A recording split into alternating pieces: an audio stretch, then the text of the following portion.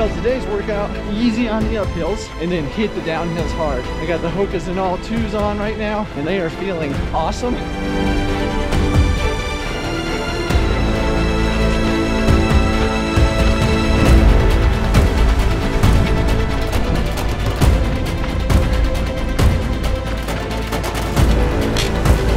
These Zinal twos, by the way, feel amazing on fast downhill descent. That Vibram Mega Grip Litebase outsole, Oh man, it's perfect.